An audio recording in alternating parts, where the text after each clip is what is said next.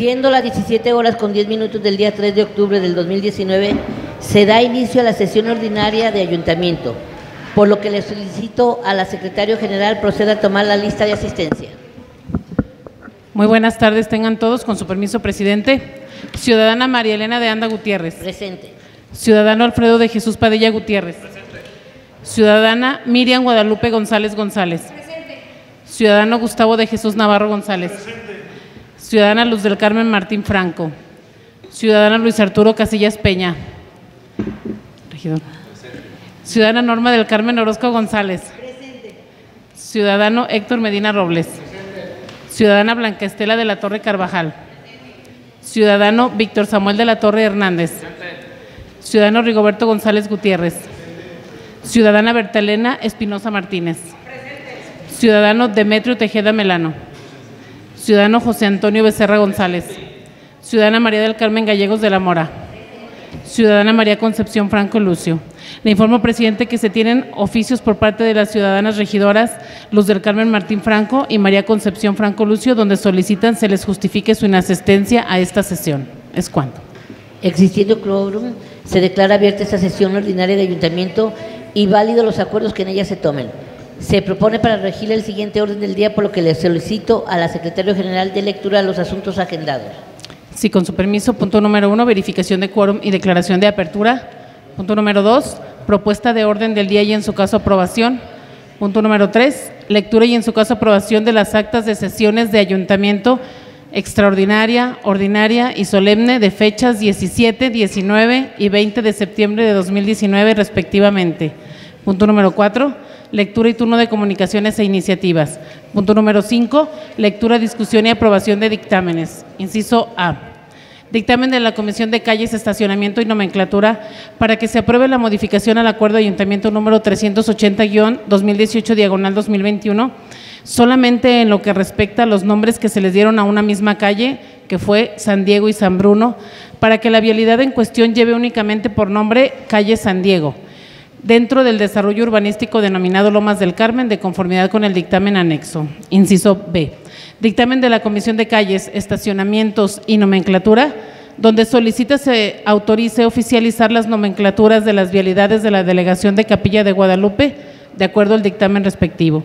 Inciso C. Dictamen de la Comisión de Calles, Estacionamientos y Nomenclatura para que se autorice oficializar la nomenclatura de la vialidad distrital denominada Avenida Jacarandas a partir de su interse- intersección con calle Puerta Vieja hasta el Boulevard Anacleto González Flores de esta cabecera municipal para que ahora se llame Avenida Jacarandas Poniente, tal y como se presenta en el dictamen. Inciso D. Dictamen de la Comisión de Planeación, Desarrollo Urbano y Obra Pública, donde solicita se autoriza escriturar a favor del municipio de Tepatitlán de Morelos, Jalisco, una superficie de 5.553.90 metros cuadrados como área de sesión para destinos y una superficie de 8.274.70 73 metros cuadrados como área de sesión para vialidades, correspondiente al desarrollo habitacional denominado Colonia Bugambilia, ubicado por la prolongación de la calle Manuel Ávila Camacho al noroeste de esta ciudad de conformidad con el dictamen anexo.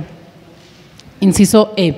Dictamen de la Comisión de Planeación, Desarrollo Urbano y Obra Pública para que se autorice escriturar a favor del municipio de Tepatitlán de Morelos, Jalisco, el área de sesión para destinos y vialidades del desarrollo habitacional denominado Paseo de las Colonias, etapa 1, ubicado por el circuito licenciado Efraín González Luna al noroeste de esta ciudad, de acuerdo al respectivo dictamen.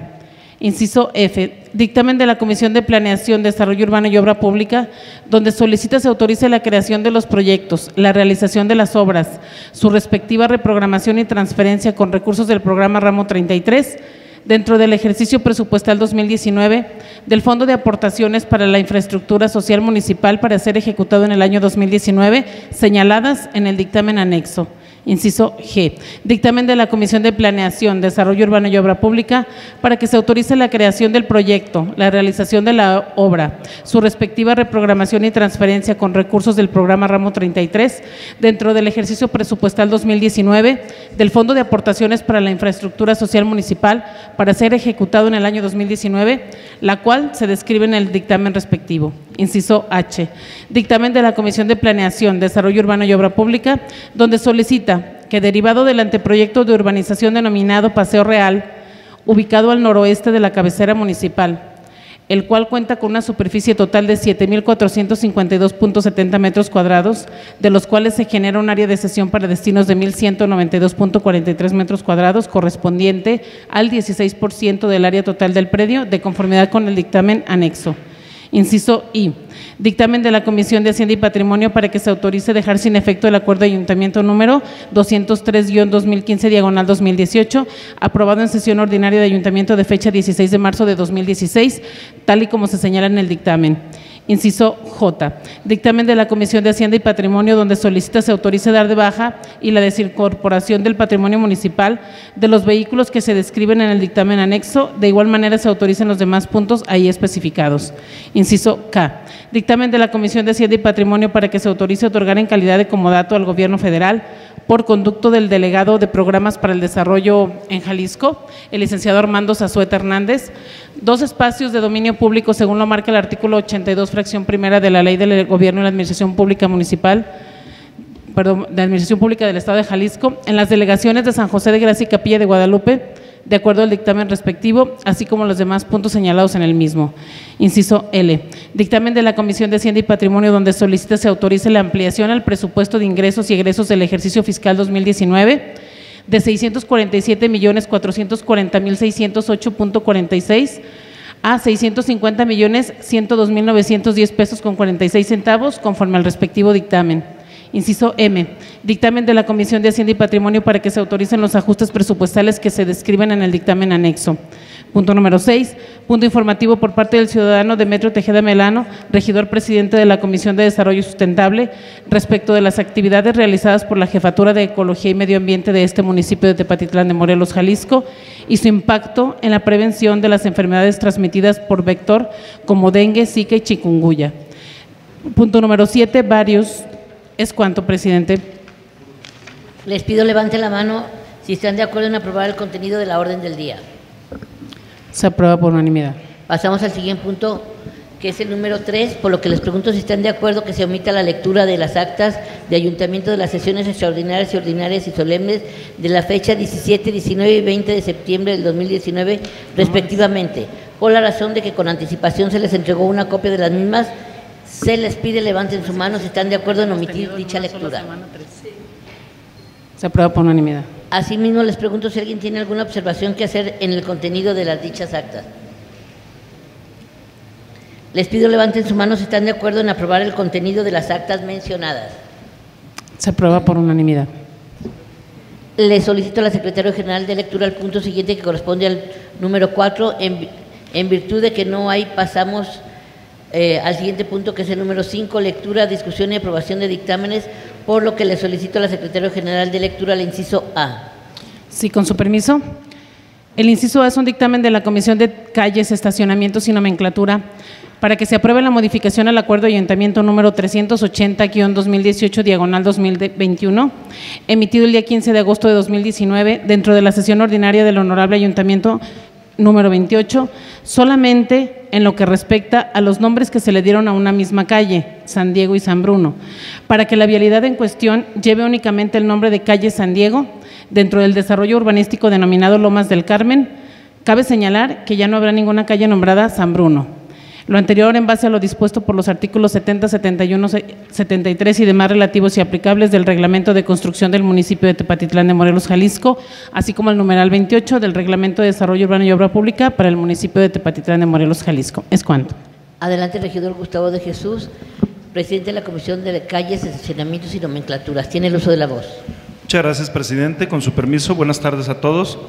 Bien, pues comentarles que esta eh, petición que se autorizó en sesión de ayuntamiento el día 15 de agosto del presente año, eh, venía con la opción de los dos nombres. Eh, entonces, quienes están solicitando fueron quienes lo propusieron.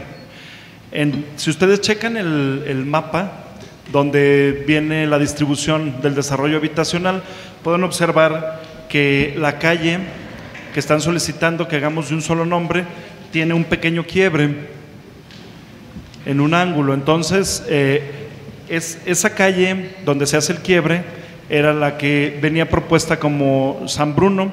En una revisión, una vez autorizado en sesión de ayuntamiento, eh, ellos observan que en realidad es la misma calle y que no tiene motivo de tener otro nombre. Por lo tanto, nos piden que modifiquemos el acuerdo de, ayuntamiento del día 15 de agosto para que lo dejemos solamente como San Diego. Ese es el motivo de esta solicitud. Muchas gracias. Les pido levanten su mano si están a favor de aprobar el punto expuesto. Se aprueba por unanimidad. El acuerdo queda de la siguiente manera. Se aprueba la modificación al acuerdo de ayuntamiento número 380-218, diagonal 2021, solamente en lo que respecta de los nombres que se le dieron a una misma calle, San Diego y San Bruno, para que la vialidad en cuestión lleve únicamente por nombre calle San Diego, dentro del desarrollo urbanístico denominado Lomas del Carmen, de conformidad con el dictamen anexo.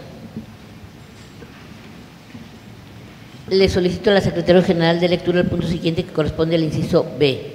Sí, con su permiso. Este dictamen es de la Comisión de Calles, Estacionamientos y Nomenclatura, donde solicita se autorice oficializar las nomenclaturas de las vialidades en la delegación de Capilla de Guadalupe para quedar de la siguiente manera.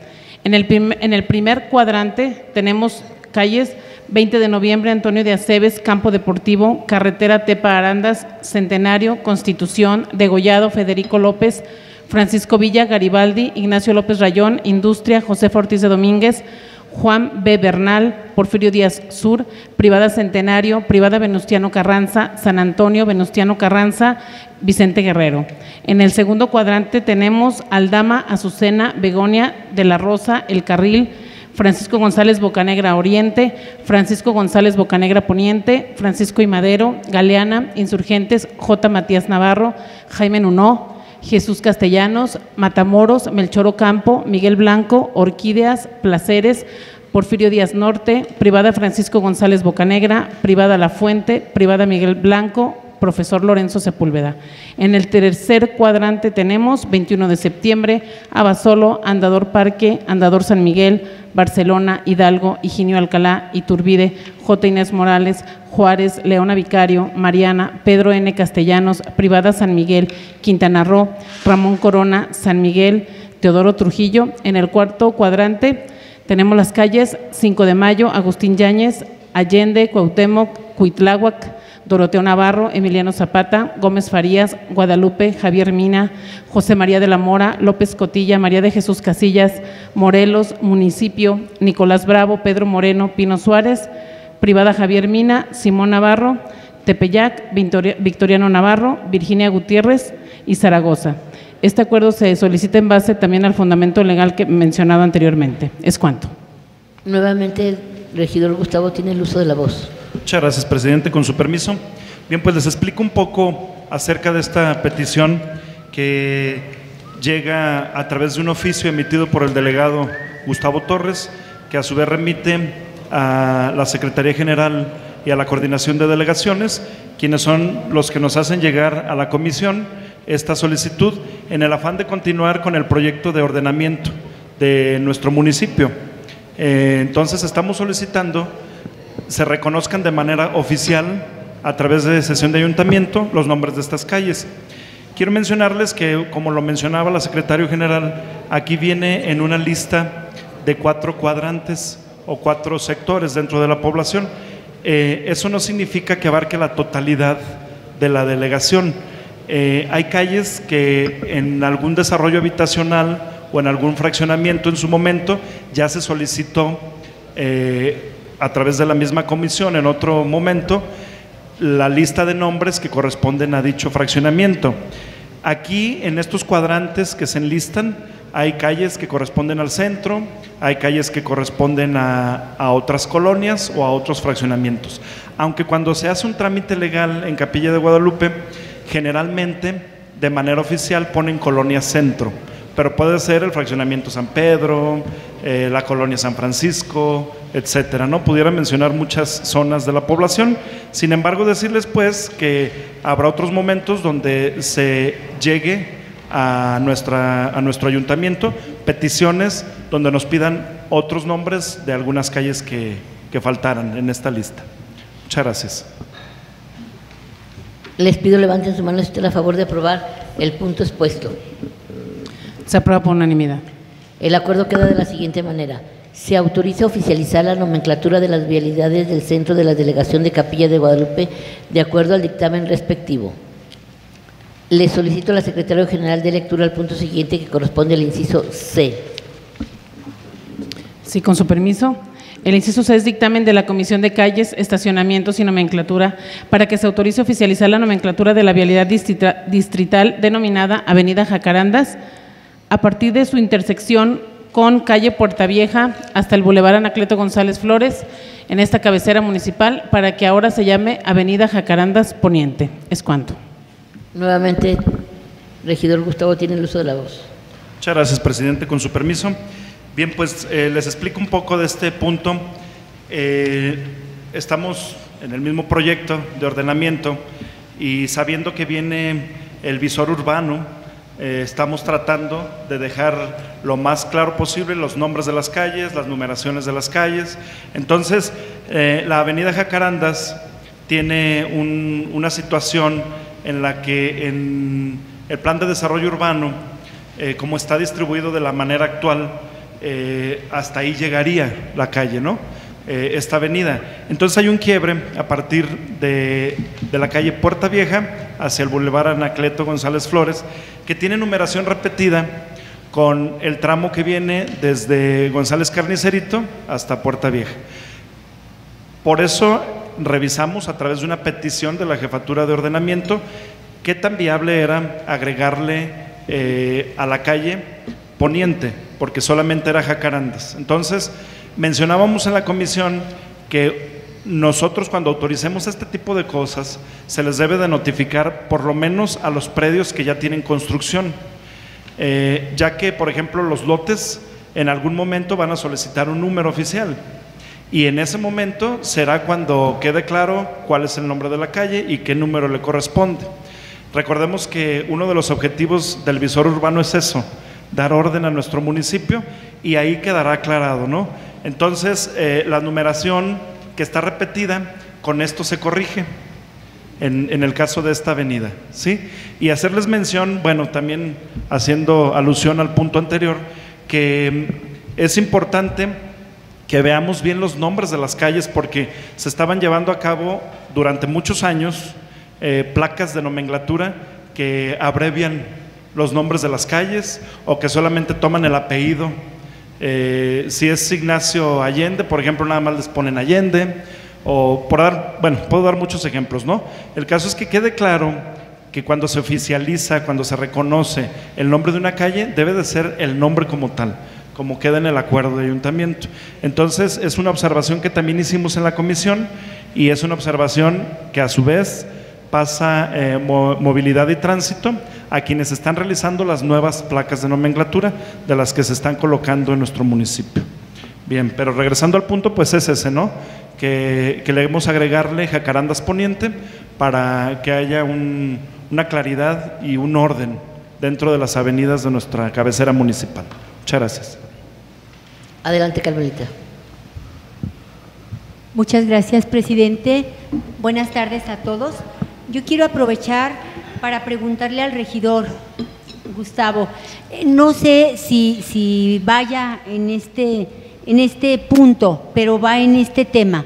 Hay una inconformidad de una persona que le cambiaron el número de su casa eh, eh, y le dijeron que porque era su número oficial, que se iba a oficializar los números de- de esa calle. La persona le habló a varios regidores de los que estamos aquí, inconformándose. Eh, yo la verdad desconozco, yo no le di ninguna solución, solamente la escuché. Y, solamente quiero preguntar eh, si no hay otra manera para corregir lo que se trate de corregir al cambiar el número, porque esta persona me explicaba cómo le afecta en sus credenciales, en su pasaporte, en su credencial de lector, en, en la escritura, o sea que hay que modificar todo. Eh, esta persona también agregaba que a ella fue la única que le cambiaron el número en esa cuadra. Dice que no sabe si en otras cuadras también, pero en especial a ella. Ella fue a investigar inclusive vino aquí, a, bueno, a, me imagino que a obra pública, Sí, y le dijeron, bueno, eh, la- así fue su respuesta, a Cristo lo crucificaron por bueno. O sea, a ti te tocó por buena, firmaste, ni modo. Esa fue la respuesta que le dieron. Bueno, Bueno, eso me dijo esta persona.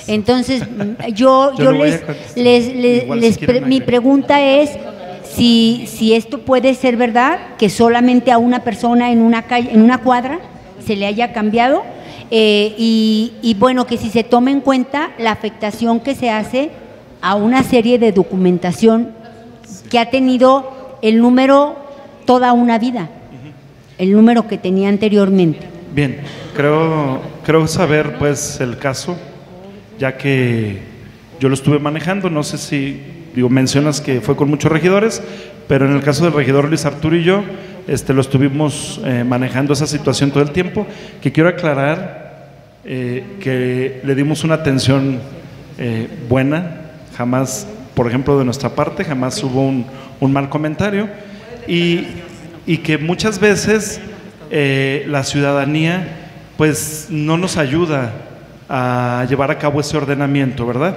No es que uno no quiera eh, resolver, es que a veces hay cosas que nosotros debiéramos de respetar para dar orden a nuestro municipio. Pero voy a explicarlo.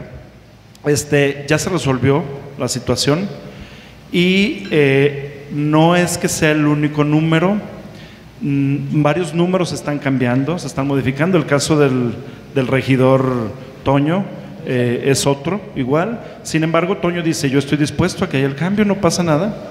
Cuando se hace un cambio de número oficial, la jefatura de ordenamiento da una notificación al agua potable, da una notificación a catastro y ellos hacen el cambio. En el caso de las credenciales, de los pasaportes, pues llegará un momento en el que hagamos eh, el cambio, ¿no? Que no genera costo. Por ejemplo, tú vas a tu credencial y dices, tengo un nuevo domicilio y a lo mejor es cuestión de, invertirle tiempo más no dinero. Entonces, pues eh, yo creo que, es la disposición de los ciudadanos de poder llevar a cabo eh, este cambio de orden que estamos haciendo, esta adaptación del orden, ¿no? Y eh, aquí surge este cambio porque esta persona solicitó un dictamen de uso de suelo. Entonces, cuando solicite este uso de suelo para poner un negocio de un local que le están rentando, entonces ahí le dijeron, ese no es el número que le corresponde, es este, y por eso se firmó, ¿sí? Pero sí estuvo aclarado porque se estaba firmando. Después ve que pues le genera ese tipo de conflictos, ¿no? Cambiar recibos y el rollo, y, y este es donde dice, no, pues yo regrésenme mi número porque yo no quiero mover nada. Y este, lo que hicimos fue, eh, también la Presidenta sabe perfectamente el caso, lo que hicimos fue eh, pedirle a la jefatura de ordenamiento que le regrese su número, que ya le regresó. Le expidió un dictamen donde decía de uso de suelo, que si era el uso de suelo que solicitaba, más que el número no era oficial.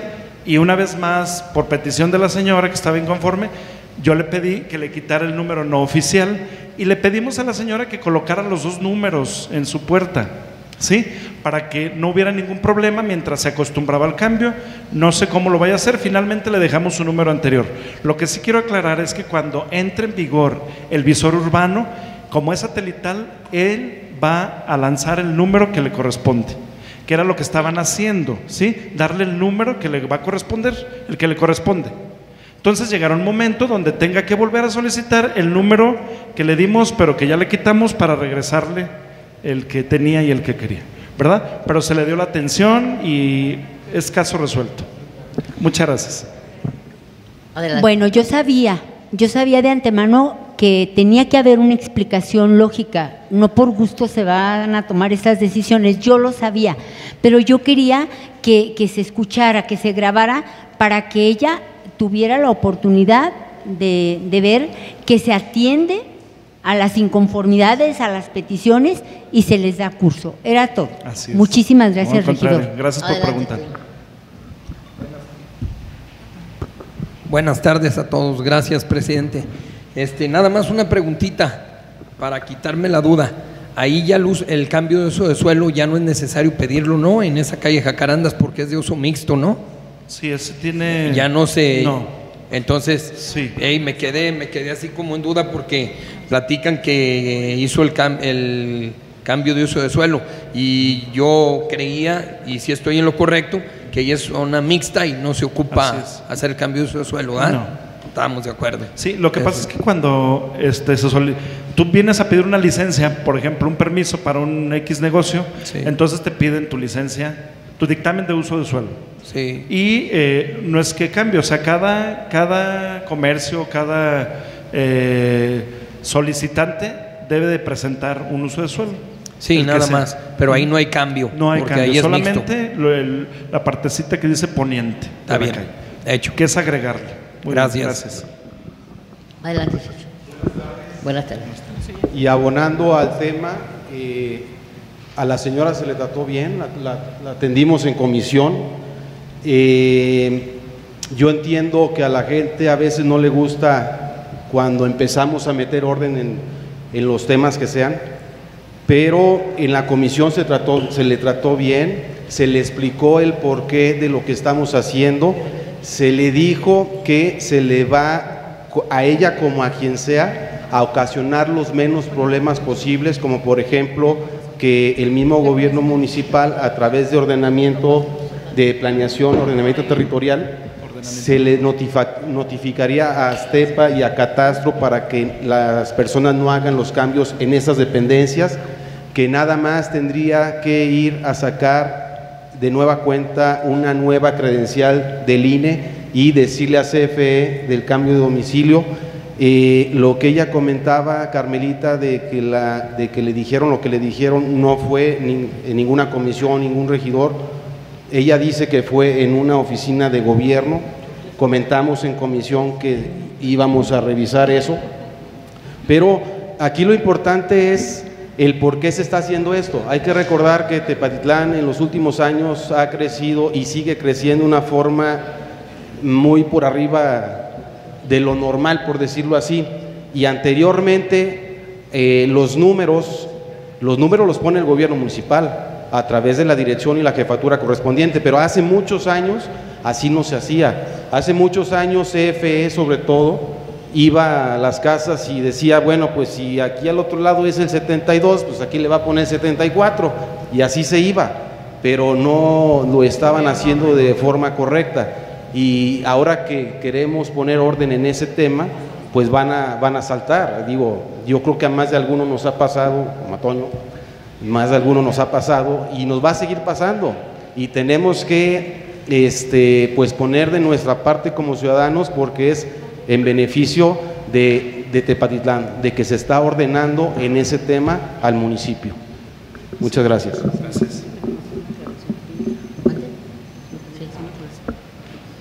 Con el permiso de la presidenta, haciendo una aclaración jurídica, porque a veces las personas también tienen el pendiente porque dicen, en mi escritura decía calle tal, número tal. Entonces, precisamente el que haya un acuerdo de ayuntamiento que legitime el cambio, el nombre, eso ayuda cuando están haciendo el trámite legal, viene el, el abogado que esté llevando el asunto, solicita el acuerdo de ayuntamiento a partir de cuándo cambió para que se entienda que se trata de la misma finca. Entonces, por eso es importante oficializarlo de esta manera, los nombres también, tanto los cambios que haya, porque así pueden tener un documento jurídicamente hablando para acreditar que la finca es la misma que anteriormente llevaba otro número o algún otro nombre de la calle, pues. Es por eso que se hace también de esta manera. Gracias. Bueno, entonces les pido levanten la mano si están a favor de aprobar el punto expuesto. Se aprueba por unanimidad, ¿verdad, regidor Chacho? El acuerdo queda de la siguiente manera. Se autoriza oficializar la nomenclatura de la vialidad distrital denominada Avenida Jacarandas a partir de su intersección con la calle Puerta Vieja hasta el Boulevard Anacleto González Flores de esta cabecera municipal, para que ahora se le llame Avenida Jacarandas Poniente, tal y como se presentan en el dictamen. Le solicito al secretario general de lectura al punto siguiente que corresponde al inciso D. Sí, con su permiso, este es un dictamen de la Comisión de Planeación, Desarrollo Urbano y Obra Pública donde solicita, primero, se autoriza escriturar a favor del municipio de Tepatitlán de Morelos, Jalisco, una superficie de 5.553.90 metros cuadrados como área de sesión para destinos y una superficie de 8.274.73 metros cuadrados como área de sesión para vialidades, correspondiente al desarrollo habitacional denominado Colonia Buganvilia, ubicado por la prolongación de la calle Manuel Ávila Camacho al noroeste de esta ciudad. Segundo, se faculta a los representantes del Gobierno Municipal de Tepatitlán de Morelos, Jalisco, a los ciudadanos María Elena de Anda Gutiérrez, Alfredo de Jesús Padilla Gutiérrez y Lucía Lorena López Villalobos en su carácter de presidente, síndico y secretario general respectivamente, para que suscriban el instrumento jurídico correspondiente. Es cuanto. Adelante, regidor Luis Arturo Casillas, presidente de la Comisión de Planeación, Desarrollo Urbano y Obras Públicas, tiene el uso de la voz. Con su permiso, buenas tardes. Aquí la petición que nos hace el señor Rodolfo Franco Ibarra a través de su representante legal, el arquitecto Raúl Barajas, de que se autorice el escriturar a favor del municipio áreas de sesión y áreas de vialidades del fraccionamiento Bugambilia. Quiero aclarar que no hay falta de ortografía, así está registrado el, nombre. ¿Sí? Entonces, esa es la petición, solicita ser escrituradas las áreas de sesión para destinos y las áreas de sesión para vialidades. ¿Es cuánto? Les pido levanten sus manos si están a favor en aprobar el punto expuesto. Se aprueba por unanimidad. El acuerdo queda de la siguiente manera.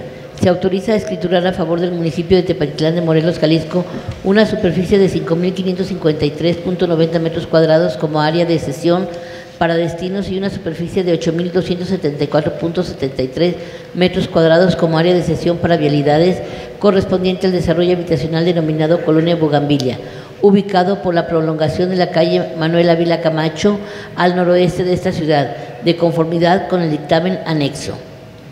Le solicito a la Secretaria General de lectura al punto siguiente que corresponde al inciso E. Sí, con su permiso. Este también es un dictamen de la Comisión de Planeación, Desarrollo Urbano y Obra Pública para que, primero, se autorice escriturar a favor del municipio de Tepatitlán de Morelos, Jalisco, el área de sesión para destinos y vialidades del desarrollo habitacional denominado Paseo de las Colonias, etapa 1, ubicado por el circuito licenciado Efraín González Luna al noroeste de esta ciudad, siendo el área de sesión para destinos una superficie de 2.831.33 metros cuadrados que correspondiente al circuito licenciado Efraín González Luna, de los cuales 2.356.57 metros cuadrados corresponden al área de sesión para destinos y el resto de 474.76 metros cuadrados corresponden a un excedente por lo que dicha área de sesión deberá ser considerada en función a lo expuesto en el artículo 178, párrafo tercero del Código Urbano para el Estado de Jalisco,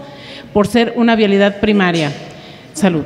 Y como área de sesión para vialidades, una superficie de 4.218.78 metros cuadrados. Segundo, se faculta a los representantes del Gobierno Municipal de Tepatitlán de Morelos, Jalisco, a los ciudadanos María Elena de Anda Gutiérrez, Alfredo de Jesús Padilla Gutiérrez y Lucía Lorena López Villalobos, en su carácter de presidente, síndico y secretario general respectivamente, para que suscriban el instrumento jurídico correspondiente. Es cuanto. Adelante, regidor Luis Arturo, nuevamente tiene el uso de la voz. Aquí la solicitud que hace Grupo Inmobiliario AFLEC a través de su representante legal, el licenciado Carlos Iván Quiles Corona, donde solicita escriturar a favor del municipio áreas de sesión para destinos y vialidades. Aquí se hace referencia del excedente y también al artículo en relación a que es una vialidad primaria, por eso se toma esa área de sesión de esa manera. Cuenta con el dictamen expedido por la Jefatura de Ordenamiento en el cual se avala que los documentos y las medidas son acordes al plan realizado. Es cuanto. Les pido levanten su mano si están a favor en aprobar el punto expuesto. Se aprueba por unanimidad. El acuerdo queda de la siguiente manera. Se autoriza a escriturar a favor del municipio de Tepatitlán de Morelos, Jalisco, el área de sesión para destinos y vialidades del desarrollo habitacional denominado Paseo de las Colonias, etapa 1, ubicado por el circuito licenciado Efraín González Luna al noroeste de esta ciudad, de acuerdo al respectivo dictamen. Le solicito a la Secretaria General de Lectura el siguiente punto que corresponde al inciso F. Sí, con su permiso. Este también es un dictamen de la Comisión de Planeación, Desarrollo Urbano y Obra Pública para que, primero, se autorice la creación de los proyectos, la realización de las obras, su respectiva reprogramación y transferencia con recursos del programa Ramo 33 dentro del ejercicio presupuestal 2019 del Fondo de Aportaciones para la Infraestructura Social Municipal para ser ejecutado en el año 2019, las cuales se describen a continuación. El proyecto 19 FISM 094026 que es la construcción de alcantarillado y drenaje pluvial en la calle Morelos, aquí en la cabecera municipal, con un monto de hasta 150.689.37. La siguiente es la 19 FISM 094027, construcción de alcantarillado y drenaje pluvial en ingreso a Bugambilias, en la cabecera municipal, con un monto de hasta 1.522.514.59. La siguiente es la 19 FISM 094028, construcción de alcantarillado y drenaje pluvial en ingreso a Camino a Santa Bárbara, aquí en la cabecera, por un monto de hasta 1.687.229.42. La siguiente es la 19 FISM 094029, que es la construcción de módulo de baños y barda perimetral en preescolar Amado Nervo, con la clave de 14DJN091 3E en Jardines de Tepa, aquí en la cabecera municipal, por un monto de hasta 558.949.71. La siguiente es la 19 FISM 094030, construcción de módulo de baños y banqueta en preescolar Higinio de la Torre, en la delegación de Capilla de Milpillas, con un monto de hasta 428.272.22. La siguiente es la 19 FISM 094031, que es rehabilitación de baños en Casa de la Cultura en la delegación de Mezcala, por un monto de hasta 282.257.35.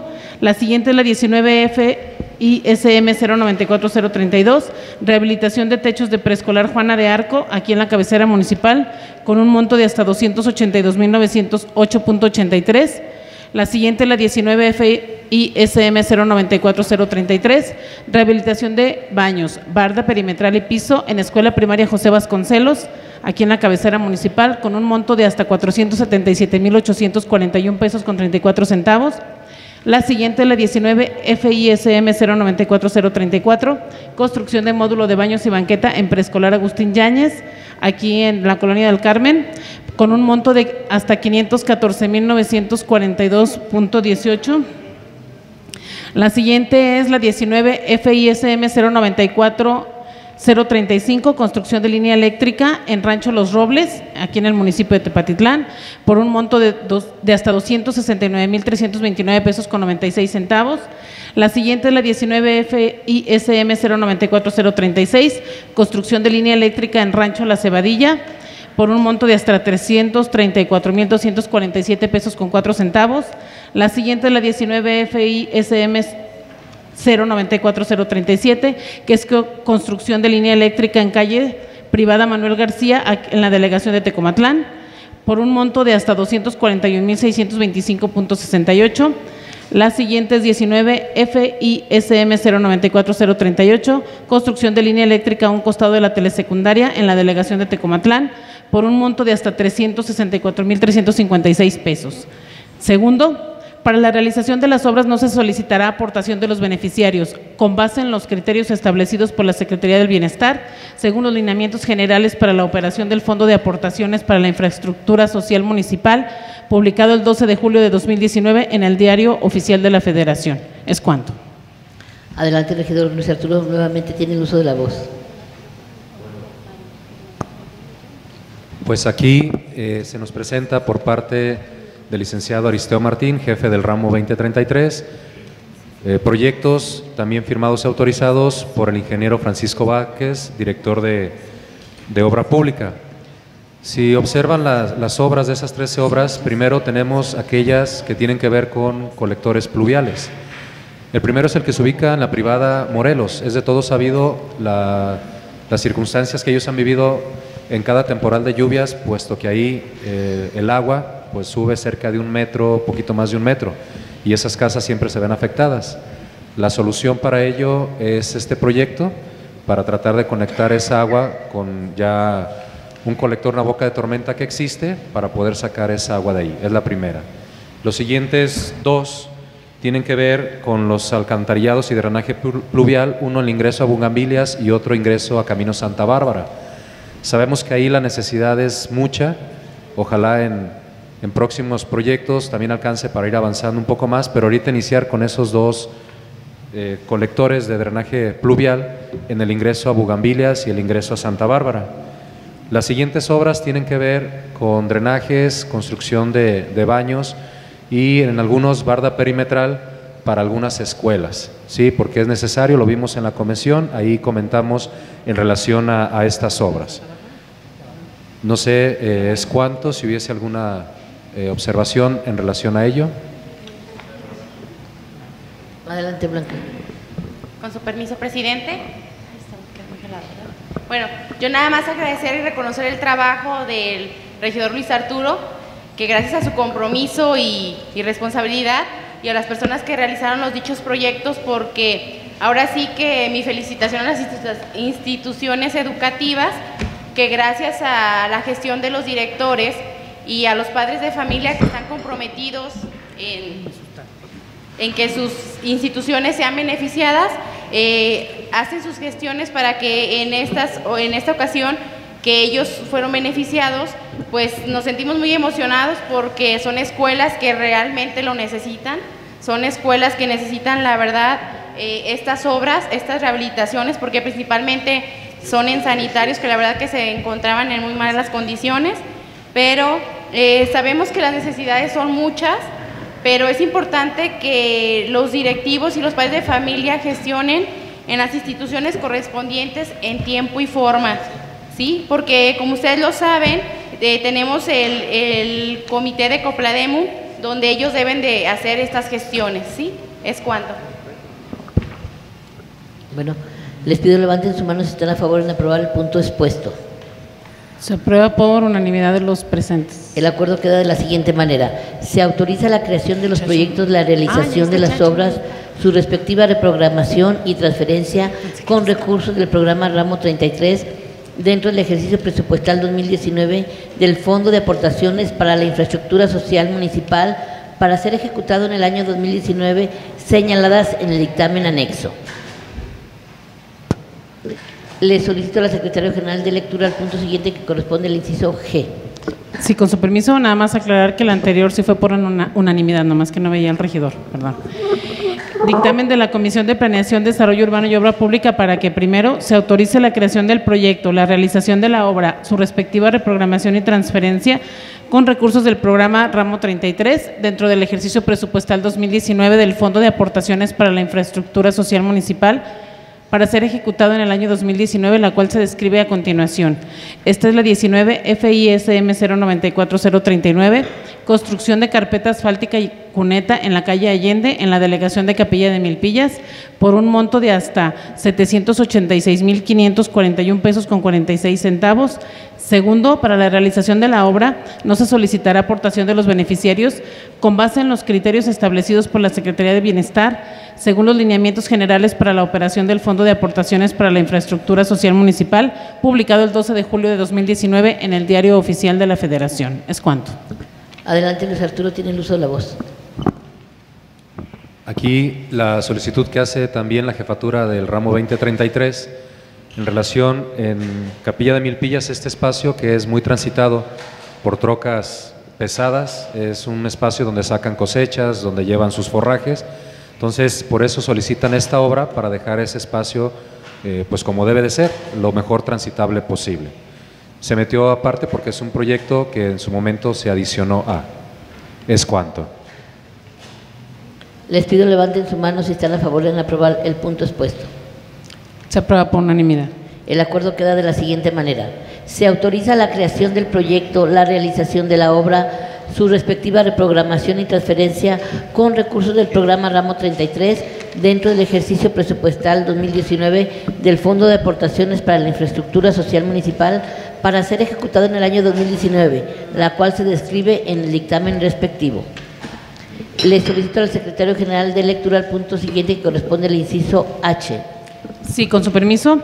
Este es un dictamen de la Comisión de Planeación, Desarrollo Urbano y Obra Pública, donde solicita primero derivarlo del anteproyecto de urbanización denominado Paseo Real, ubicado al noroeste de la cabecera municipal, el cual cuenta con una superficie total de 7.452.70 metros cuadrados, de los cuales se genera un área de sesión para destinos de 1.192.43 metros cuadrados, correspondiente al 16% del área total del predio.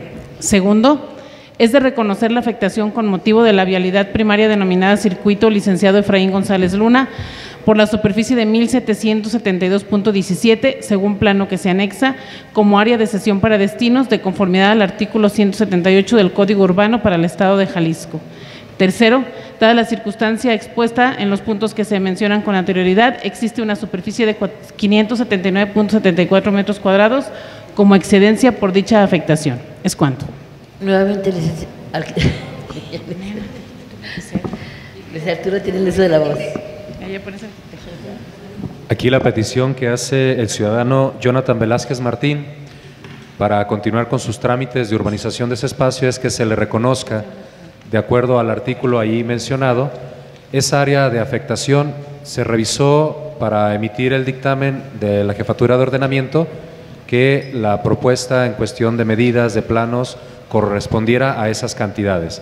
Está revisado, por eso ahí se anexa el dictamen de la Jefatura de Ordenamiento y aquí entonces es la petición de que se autorice el reconocimiento de ese excedente, la afectación y el excedente que existe por ser vialidad primaria. ¿Es cuánto? Les pido levanten su mano si están a favor en aprobar el punto expuesto. Se aprueba por unanimidad. El acuerdo queda de la siguiente manera.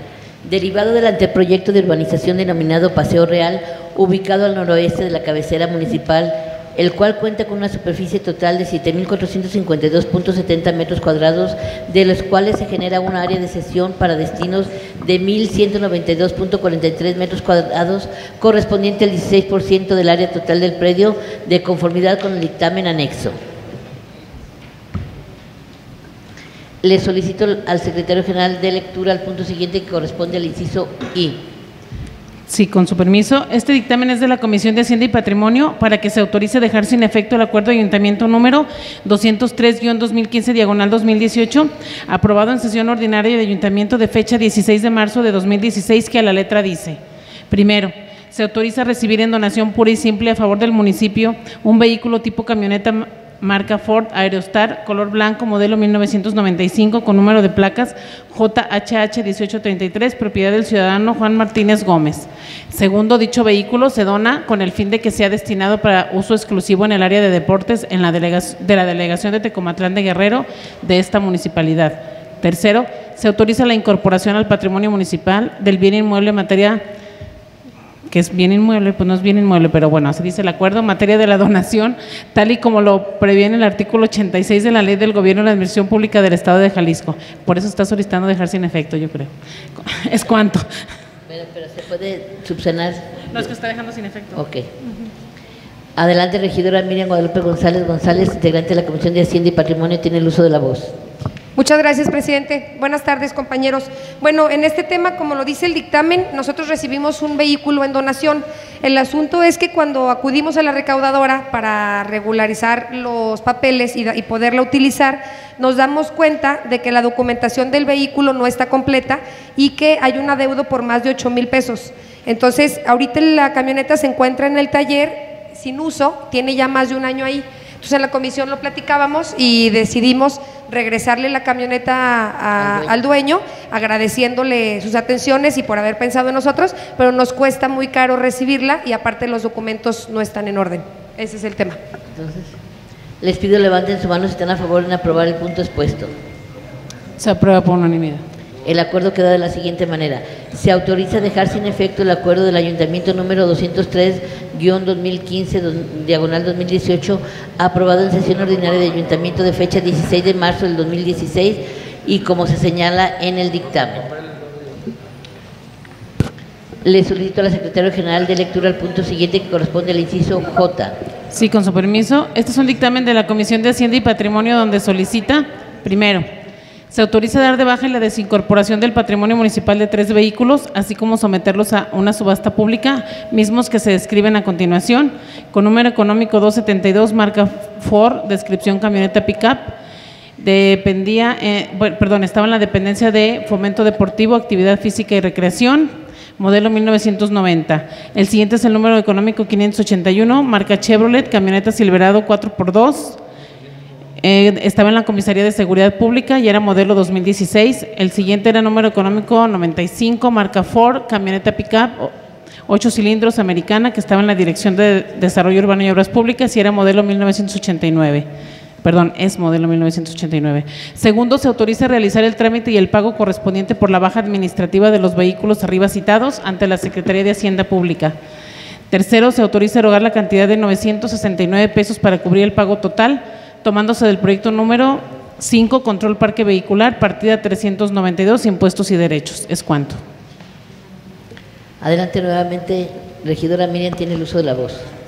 Gracias, presidente. Bueno, este tema, tal como lo dice aquí en el dictamen, es dar de baja estos tres vehículos y ya que se encuentran en calidad de chatarra para poderlos mandar a la subasta. Es cuánto.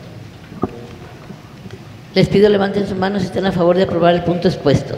Se aprueba por unanimidad. El acuerdo queda de la siguiente manera. Se autoriza dar de baja y la desincorporación de del patrimonio municipal de los vehículos que se describen en el dictamen anexo. De igual manera, se autoriza los demás puntos que ahí se especifican. Le solicito a la Secretaria General de Lectura el punto siguiente que corresponde al inciso K. Sí, con su permiso. El inciso K es un dictamen de la Comisión de Hacienda y Patrimonio para que, primero, se autorice otorgar en calidad de comodato al Gobierno federal, por conducto del delegado de Programas para el Desarrollo en Jalisco, el licenciado Armando Zazueta Hernández, los espacios de dominio público según lo marca el artículo 82, fracción primera de la Ley del Gobierno en la Administración Pública del Estado de Jalisco y que a continuación se describen.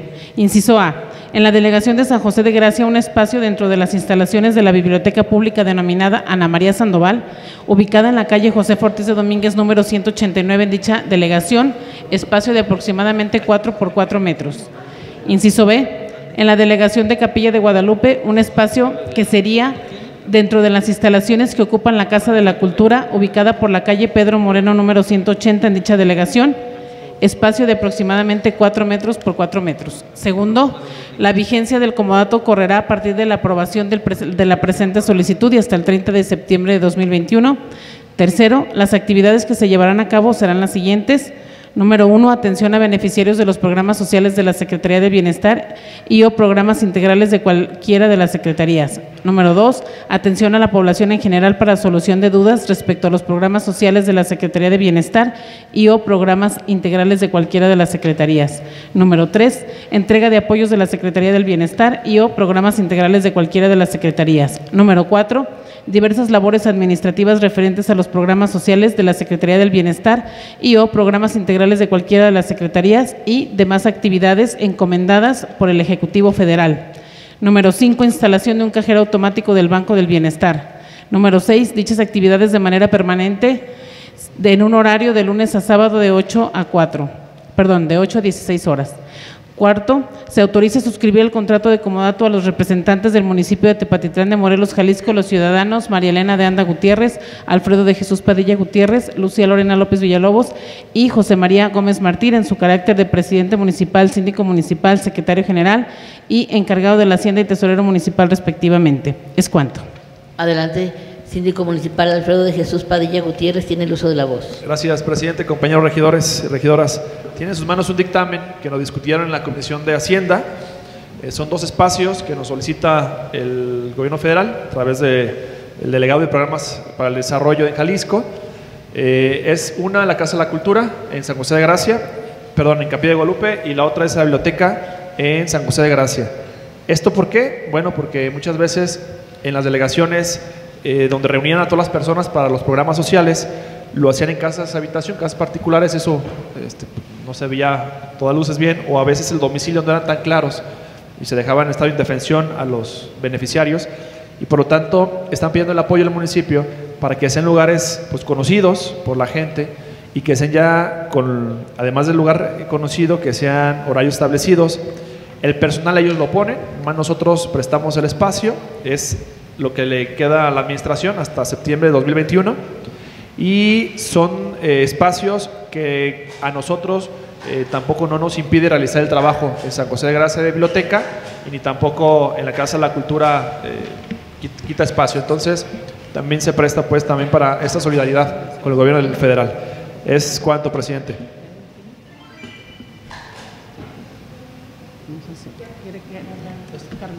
Carmelita, adelante. Sí, muchas gracias. Preguntarle al síndico si ya se hizo del conocimiento de, no sé si es de la federación o del estado, el espacio que hace tiempo platicamos aquí que existe que antes se, ocu- se ocupó en, en repartir leche, mm, liconza o algo así, y que se podría dar uso para una oficina, para atención de alguna dependencia estatal o federal, y, y al darle uso a ese lugar retiraríamos delincuencia, esta- estaría habitado, se vería movimiento y se, se retirarían pues gentes que sin oficio ni beneficio le hacen daño a este lugar. No sé si, no he pasado por ahí, no sé si ya se le está dando algún uso o así como le van a dar uso o ellos piden un espacio para darle un buen uso a, a los programas, la repartición de cosas, pues a lo mejor se le podría dar algo parecido a esta, finca que ya existe. Sí, de hecho es un tema nacional porque cuando se instalaban los grandes espacios de Liconza o de algunos Conasupo, ¿no se acuerdan? Hacían sus bodegas enormes y posteriormente dejaron de funcionar y eso orillaba a que pues, vándalos o paracaidistas, los famosos, gente llegaba ahí, se posicionaba de los bienes y para sacarlos tenías que hacer un juicio, pero también como era un tema federal, de la federación, entonces también nosotros como municipio estamos impedidos. Ese trámite, sobre todo, está de este lado, el inmueble, está en la gestión para solicitar el espacio a la federación. Sigue estando este, siendo federal el espacio y el problema es, y lo vamos a ver, eh, que nos ha llegado con la presidenta municipal, es que también el gobierno federal no tiene dinero para remodelar sus espacios que tiene. Inclusive más adelante con la Fiscalía General de la República, que también va a solicitar apoyos, y en su momento dado, ellos ahorita lo que están haciendo es un tema de recorte presupuestal, entonces van a pedir auxilio a los municipios, en este caso, pero el caso concreto estamos en la gestión para recuperar ese espacio, que nos lo regresen, que nos lo donen, porque al final tampoco ellos no le dan mantenimiento. Y Pues está sí, ahí. si lo recuperamos, yo pienso que lo podemos remodelar y, y darle un, un uso, ¿verdad? Muchas gracias. Entonces, les pido levanten su mano si están a favor de aprobar el punto expuesto. Se aprueba por unanimidad. El acuerdo queda de la siguiente manera. Se autoriza otorgar en calidad de comodato al gobierno federal por conducto del delegado de programas para el desarrollo de Jalisco, el licenciado Armando Zazueta Hernández, dos, dos espacios de dominio público, según lo marca el artículo 82, fracción primero de la Ley del Gobierno y la Administración Pública del Estado de Jalisco, en las delegaciones de San José de Gracia y Capilla de Guadalupe, de acuerdo al dictamen respectivo, así como los demás puntos señalados en el mismo. Le solicito al secretario general de lectura el punto siguiente que corresponde al inciso L. Sí, con su permiso. El inciso L es un dictamen de la Comisión de Hacienda y Patrimonio donde solicita se autorice la ampliación al presupuesto de ingresos y egresos del ejercicio fiscal 2019 de 647 millones 440 mil 608 pesos con 46 centavos a 500 650 millones 102 mil 910 pesos con 46 centavos en virtud de lo siguiente. Aportación federal para Festival Cultural, 339.750 pesos. Aportación Fondo de Animación Cultural, 85.559 pesos. Rendimientos financieros, recursos 50, 434, fortalecimiento financiero para la inversión, 94.500. Rendimientos financieros, recursos propios, 2.142.493 pesos, que generan un total de 2.662.302 pesos. ¿Es cuánto? Bueno, gracias. Este, como dice, ahí tienen en sus manos el dictamen que se dio en la Comisión de, de Hacienda y Patrimonio, en el cual se, pedimos para el aumento del 647 millones 440 mil 608.46, aumentarle 2 millones 662 mil 302 y el cual nos daría un total de 650 millones 102 mil 910.46. Ya nos acaban de decir de dónde provienen esos aumentos, más es si, están autor- si autorizan ustedes el aumento del presupuesto. Les pido levanten su mano si están a favor en aprobar el punto expuesto. Se aprueba por unanimidad. Se autoriza la ampliación del presupuesto de ingresos y egresos del ejercicio fiscal 2019 de 647.40 440.608.46 a 650 millones 102 mil 910.46 conforme al respectivo dictamen.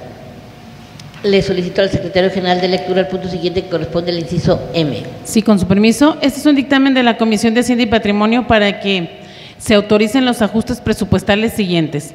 El número 58, que es de la Dirección de Tesorería Municipal, eh, partida 396, otros gastos por responsabilidad, recursos 50, 434, proyecto 4, rendición de cuentas claras y transparentes por la cantidad de 94.500 pesos en virtud de los rendimientos financieros mismos que serán reintegrados a la tesorería de la Federación. Ajuste número 59, jefatura de comunicación social, partida 361, difusión en medios de comunicación, recurso 10.100, proyecto 109, la perla de los altos por la cantidad de 442.493 pesos, con el fin de contar con suficiencia presupuestal para cubrir las difusiones del mes de septiembre a diciembre de 2019. El ajuste número 60, jefatura de maquinaria de vehículos por la cantidad de 1.500.000 pesos, distribuidos de la siguiente manera, 500.000 pesos para la partida 355, reparación y mantenimiento de equipo de transporte, Recurso 10.100, proyecto 91, adquisición de refacciones, lubricantes y herramientas para el mantenimiento de vehículos, la cantidad de 100 mil pesos para la partida 261, combustibles, lubricantes y aditivos. Recurso 10.100 del proyecto 91, adquisición de refacciones, lubricantes y herramientas para la compra de aceites y lubricantes, la cantidad de 900 mil pesos. A la partida 296, refacciones y accesorios menores de equipo de transporte, recurso 10.100 del proyecto 91, adquisición de refacciones, lubricantes y herramientas para la compra de refacciones para realizar el mantenimiento de los vehículos del mes de septiembre-diciembre del presente año. Ajuste número 64, jefatura de ingresos por la cantidad de 200 mil pesos con cargo a la partida 218, refacciones y accesorios menores de maquinaria y otros equipos, recurso 10.100 del proyecto 122, eficiencia en la recaudación de ingresos para llevar a cabo la adquisición de formas valoradas del mes de septiembre-diciembre de 2019, así como del inicio del año 2020, autorización del proyecto Festival Cultural de Tepatitlán, de la Dirección de Articultura, partida 382, gastos de orden social y cultural, recursos 50.438 por la cantidad de 339.750 pesos, en virtud de la aportación federal y el convenio celebrado con la Secretaría de Cultura del Gobierno Federal, en alcance del acuerdo de ayuntamiento número 339 2018 diagonal 2021 de fecha 4 de julio de 2019, autorización del proyecto animación cultural de la Dirección de Articultura, partida 382, gastos de orden social y cultural, recursos 60.203 por la cantidad de 85.559 pesos, en virtud de la aportación estatal y el convenio celebrado con la Secretaría de Cultura del Estado de Jalisco en, alcance del acuerdo de ayuntamiento número 326-2018 diagonal 2021 de fecha 4 de julio de 2019. ¿Es cuánto? Gracias. Bueno, este punto que estamos viendo va relacionado con el punto anterior de los 2.662.302 pesos. Este es hacia dónde se van a destinar ese dinero. Yo no sé si quieran que lo volvamos a repetir, lo que nos acaba de decir. Entonces, ya tenemos bien, bien visto hacia dónde va el dinero. Los que estén a favor de levantar, de aprobar el punto, a favor de levantar su mano. Se aprueba por unanimidad. El acuerdo queda de la siguiente manera. Se autorizan los ajustes presupuestales que se describen en el dictamen anexo. Antes de iniciar con el siguiente punto, solicito cinco minutos de, de receso porque creo que va a estar un poquito largo, ¿verdad? Entonces, gracias. Le solicito a la Secretaria General de Lectura el punto siguiente que corresponde al punto número 6. Sí, con su permiso. El punto número 6 es un punto informativo de parte del ciudadano Demetrio Tejeda Melano, regidor presidente de la Comisión de Desarrollo Sustentable, respecto de las actividades realizadas por la Jefatura de Ecología y Medio Ambiente de este municipio de Tepatitlán de Morelos, Jalisco, y su impacto en la prevención de las enfermedades transmitidas por vector como dengue, zika y chikungunya. ¿Es cuánto? Adelante, regidor Demetrio Tejeda, doctor Demetrio Tejeda Melano, presidente de la Comisión de Desarrollo Sustentable, tiene el uso de la voz.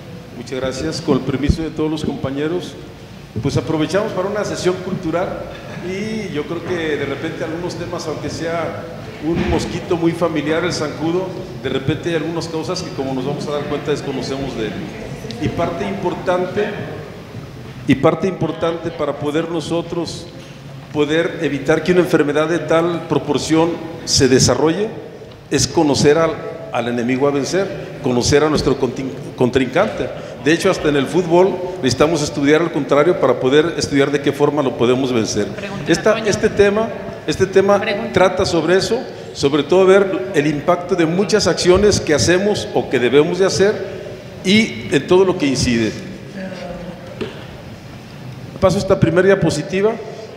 no traigo un apuntador, pero si vemos, yo quisiera que nos centráramos en las dos últimas columnas, 2017, 2018 y 2019. En la parte superior dice dengue no grave. 2018 tuvimos nosotros 366 casos de dengue no grave. 2019 hasta septiembre, el 2 de septiembre, tuvimos 1.362 casos de dengue no grave. En todo Jalisco, son datos de todo Jalisco. Todo Jalisco. De dengue con signos de alarma, segunda, segunda este, renglón, en Jalisco hasta el 2 de septiembre se tenían 37 casos en, en el caso de la 2018, pero para este año hubo 305 casos. De dengue grave se tuvieron 8 casos hasta, estas, hasta la semana este, del 2 de septiembre, hubo 8 casos y ahorita lo que va de 2019 son 110 casos. En total de los casos, si ustedes se fijan, 412 casos contra los que tenemos ahorita 1.777 casos. Por eso a nivel Jalisco ha sido una alarma porque se incrementaron cuatro veces más los casos de todos los tipos de, de dengue, ¿sí? Dengue no grave, dengue con signos de alarma y dengue grave. Y en la parte inferior viene retratada nada más en una semana epidemiológica, o sea, de domingo a domingo, cuántos casos nuevos hubo aquí en Jalisco. Una semana hubo 230 casos y allí pueden ver cuántos hubo de dengue no grave, cuántos de dengue con signos de alarma y cuántos de dengue grave. Ahorita Jalisco está ocupando el segundo lugar a nivel nacional con casos, con casos de, de dengue. Es importante pues conocer para poder prevenir. En esta segunda diapositiva quiero comentarles que los servicios de salud en Jalisco dividen en Jalisco como en regiones sanitarias. A nosotros nos corresponde la región sanitaria 3. Aquí están retratadas todas las regiones sanitarias y ustedes pueden ver que en todos los lugares se encuentran y hay casos de dengue, en unos más y en otros menos. Por tal razón, de hecho, quiero comentar que mucha gente viajamos o nos desplazamos a muchos de estos lugares y es muy factible que podamos contagiarnos de dengue porque existe el enfermo y en todos existe el vector, que es un zancudo que se llama Aedes aegypti y hay otro también que se llama Aedes albopictus, que puede transmitir tanto dengue como zika, chikungunya o fiebre amarilla. Entonces, en todos los lugares se encuentran los vectores. Por lo tanto, tenemos el peligro constante y latente de que tengamos infección la gente que tengamos en contacto con los zancudos. ¿sí? La única región que no aparece aquí es la región de lagos, la región 2. De repente yo quiero pensar que no ha muestreado, no ha mandado casos porque ellos tienen una vecindad muy cercana con Guanajuato y, Gua- y Guanajuato también tiene muchos casos, pero es el único que no ha reportado. Paso enseguida lo correspondiente aquí a la región donde ustedes se encuentran ante Tepatitlán y este es hasta la semana 35. La semana 35 es el domingo pasado. Esta información es la más actual. Aquí ustedes pueden checar en la región cuáles son los casos que tenemos nosotros. Y en el caso de Tepatitlán tenemos eh, tres casos de masculinos y este con dengue con dengue con dengue eh, con signos de alarma tenemos dos.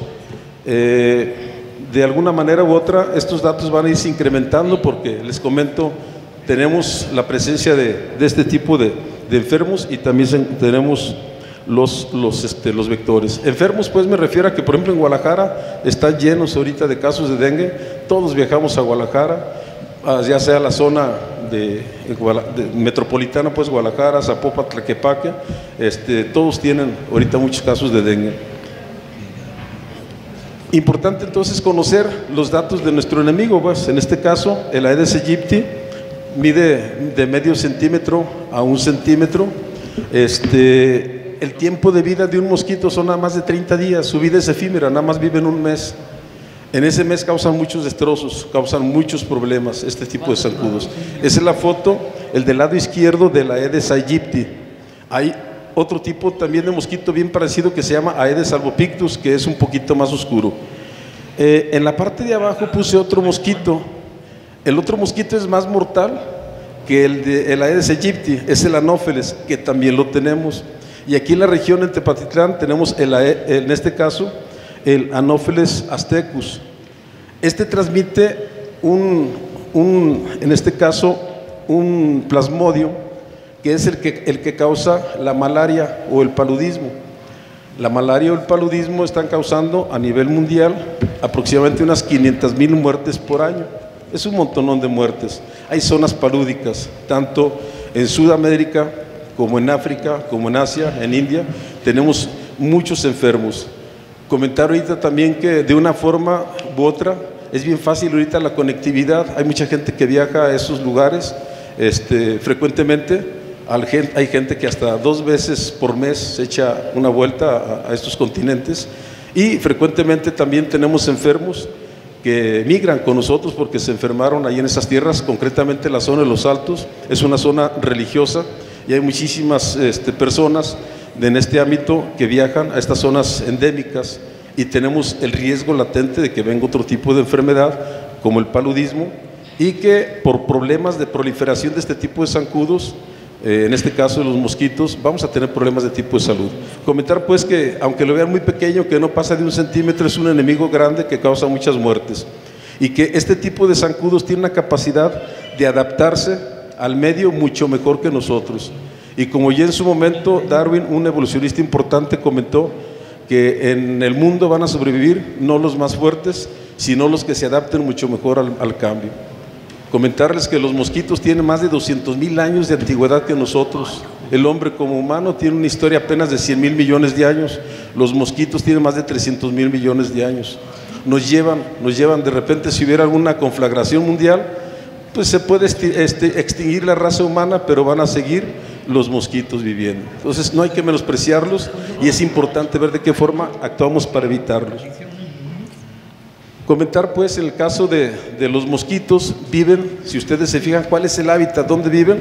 Pues en todos los lugares, ya los hemos visto nosotros, en las casas, en las iglesias, en los auditorios, en los campos deportivos, en todos los lugares donde vayamos hay zancudos. Encontramos también que, que los depósitos de agua, un lugar donde el agua se deposita y permanece sin moverse por más de cinco días, ese es un criadero de zancudos. Si nosotros logramos que no se acumule agua más de cinco días, no tenemos criadero de zancudos y no tenemos, en este caso, ninguna proliferación de zancudos. Entonces el secreto está en que no tengamos criaderos de zancudos. Ningún depósito de agua que no sea removido por más de cinco días. Importantísimo. ¿sí? Y ahorita vamos a ver por qué. Los huevecillos se ponen alrededor de donde se encuentra el acúmulo de agua. Yo me iba a traer una ovitrampa para que la vieran, por las prisas las dejamos por ahí para que las conocieran, pero aquí en Tepatitlán tenemos 200 ovitrampas para que ahí depositen los huevos los zancudos. Cada semana estamos leyendo nosotros 200 ovitrampas y estamos reportando con lupa para ver cuántos huevecitos se ponen en cada ovitrampa. Y eso nosotros estamos al pendiente para donde haya más densidad de zancudos, estar haciendo un tipo de, actividad que en este caso también nos ayuda muchísimo Ramón de Ecología, porque él ya estuvo trabajando también el asunto del control de los zancudos. Este tipo de, de zancudos entonces ponen sus huevecitos en las zonas más oscuras. Viven, como dice también por ahí abajo, en los sitios oscuros en cualquier lugar de los cuartos, las casas, los closets, abajo de las, de las camas, donde está oscuro, ahí se encuentran los zancudos. A este tipo de zancudos les gusta muchísimo también no solo el oscuro, sino el color negro. Cuando la gente tiene un color negro, una camisa, unos, este, eh, eh, uno, no sé, calcetines, este, llegan malos zancudos. Y cuando la gente también no es muy aseada, este, sobre todo en los pies, habitualmente la sustancia que se junta entre los dedos de los pies, ya ven que es un poquito medio olorosa, bueno, ese olor les atrae mucho a los zancudos, a tal grado que de ese tipo de sarro que está entre los dedos se hace veneno contra los zancudos, se le pone una sustancia tóxica, llegan los zancudos porque les atrae, comen eso y se mueren. Entonces, se prolifera más donde hay un poco más de desaseo, ¿sí? Importante pues conocer, estamos conociendo a nuestro enemigo, seguimos conociéndolo.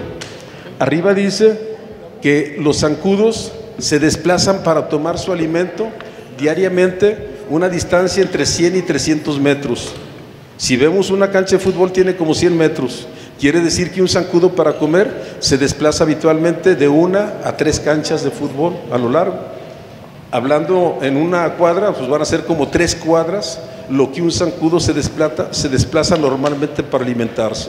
Lo que quiere decir que si nosotros en la casa de ustedes o cualquier habitante tiene muy limpia su casa, pero las del otro lado o las de la otra cuadra o las de tres cuadras está desasiado, no se van a quitar nunca los zancudos de su casa.